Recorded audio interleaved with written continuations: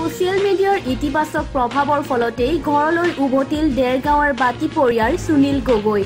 Social মিডিয়াৰ ইতিবাচক প্ৰভাৱৰ ফলতেই তেলেংগানাত সন্ধানহীন হৈ থকা এজন যুৱক উভতিবলৈ সক্ষম হ'ল ডেৰগাঁৱৰ নিজ গৃহলৈ। বিগত পাঁচ বছৰে সন্ধানহীন হৈ থকা যুৱকজনক দেওবাৰে ডেৰগাঁও বাতিপৰীয়াৰ নিজা বাসগৃহলৈ লৈ আনি পৰিয়ালবৰ্গক চমজাই দিয়ে আনাম ফাউণ্ডেশ্যন নামৰ তেলেংগানাৰ এটা সংগঠনে। পাঁচ বছৰৰ পূৰ্বে কৰ্মসংস্থাপন বিচাৰি ডেৰগাঁৱৰ ভিতৰুৱা বাতি পৰিয়াৰ সুনীল গগৈ নামৰ যুৱকজন আন দুজন যুৱকৰ সৈতে ঢাপলি মেলিছিল বাংগালোৰলৈ। কিন্তু ট্ৰেইনেৰে গৈ থকা অৱস্থাতে মাজ বাটতে ট্ৰেইনৰ পৰা সন্ধানহীন হয় যুৱকজন। তেতিয়াৰে পৰা কোনো ধৰণৰ পৰিয়ালৰ সৈতে যোগাযোগ নাছিল যুৱকজনৰ। দুটা সৰু সৰু সন্তান আৰু শাহুৱেকৰ সৈতে এক দুৰ্বিষহ জীৱন অতিবাহিত কৰিব লগা হৈছিল সুনীল গগৈৰ পত্নীয়ে। আনহাতে সন্ধানহীন হোৱা সুনীল গগৈক মানসিক ভাৰসাম্য হেৰাই যোৱা অৱস্থাত লগ পাই তেলেংগানাৰ আনাম ফাউণ্ডেশ্যন নামৰ সংগঠনটোৱে।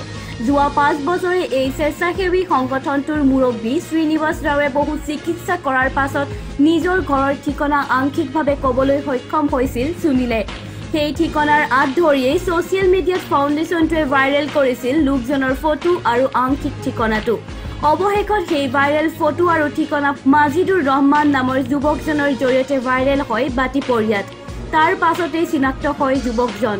মাজিদুৰ ৰহমানে কৰা যোগাযোগৰ ফলতেই দেওবাৰে আনাম ফাউণ্ডেশ্যনৰ মুৰব্বী শ্ৰীনিবাস ৰাৱে লগত তিনিজন সহযোগী লৈ এখন এম্বুলেন্সেৰে তিনি হাজাৰ পাঁচশ কিলোমিটাৰ পথ অতিক্ৰম কৰি বিয়লিৰ ভাগত সুনীল গগৈসহ উপস্থিত হয়হি বাতিপৰীয়াত एट पीपल को परिवारों को मिला हूँ।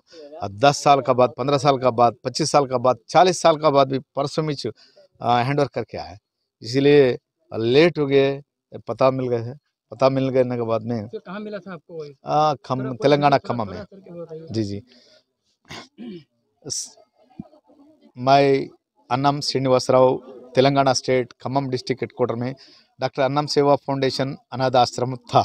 वो सेवा में करते थे तो पुलिस वाला पकड़ा है इनको। बात बराबर नहीं बोल ये पगल कहाँ से आए कि पकड़ के हैंडओवर कर दिया। करने के बाद में, आने आने के बाद में ट्रीटमेंट कराए तो ठीक हो गया। ठीक होके हमारा पास किचन में खाना बनवा देता था, वो काम करता था। मगर इनका पता नहीं बोल सक रहे क्या नाम है बोलते, मौला बोलते, गाँव कहाँ का बोलते गुलाई गुलाई गुलाई बोलते। ना डिस्ट्रिक्ट नहीं बोलते, ना स्टेट नहीं बोलते, और परिवार, फैमिली मेंबर का नाम भी नहीं बोल सकते। लेकिन मेरे एक बीबी है, दो लड़का है, बस पत्ता ही। वो लोग का नाम भी नहीं बोल सके। अरे ढूंढ ढूंढ के सर्च सर्च करके करके रिसेंट में एड्रेस ट्रेस हो गए। सिस्टम में हम लोग ढूंढे इंटरनेट में। मालूम होने के बाद में नंदकिशोर बोल को ये गुवाहाटी आई में प्रोफेसर था। वो साहब को इनका फ़ोटो और एड्रेस भेजे तो सोशल मीडिया में रख दिए तो। और ये रहमान साहब पकड़ लिया पकड़ लेके घर वाला से बात कराए वीडियो में कॉल बात होने के बाद में मैच हो गया होने के बाद में खम्मम से कलेक्टर का परमिशन ले लेके बत्तीपुरिया आ गया আজি মই শুনি ভাল লাগিছে লোৱা চাৰি বছৰ দিনে পাই সোমাইছেহি ভাল লাগিছে মনটো সিহঁতক বোলো আনিছে আপুনি আশা কৰিছিলে নে পাম বুলি ঘূৰাই পাম বুলিয়ে ভাবি আছিলোঁ আৰু মই কামলৈ গৈছিলোঁ ক'ত গৈছিলে মই ডিবু ডিবু হেৰিয়লৈ গৈছিলোঁ। এইটো ভুল বেংগলোৰ? গৈছিলোঁ বেংগলোৰ। বেংগলোৰ গৈছিলে। অঁ বেংগলোৰ কামৰ কাৰণে গৈছিলোঁ। অঁ ট্ৰেইনত গৈছিলোঁ। তাৰপিছত কেনেকৈ হেৰালে এই পু- পুলিচলৈ বকাইকে নমাই দিয়ে মোক। হা হা বকৰাই পুলিচলৈ পুলিচলৈ নমাই দিলে? অঁ পুলিচলৈ নমাই দিয়ে পকাইকে। কেতিয়া নমাই মোৰ জেগাখন মালুম নাই হে মোৰ জেগা মালুম নাই হে ঘুমাই ঘুমাই ঘুমাই এতিয়াতে ঘুমাই ঘুমাই কামে পালোগৈ গৈ পেলাই। তাৰপিছতে চাহ চাহ চাহ লগ পায় মোক। আনো আনুষ্ঠানিক ছাৰ আৰু লগ পাইকে মোক ট্ৰিটমেণ্ট চিটমেণ্ট কৰিকে খানা পকাই লোকেগৈ তাৰপিছতে খানা পকাই পকাই এতিয়া এহাপে বাতিবাৰীলৈকে আহে মোক।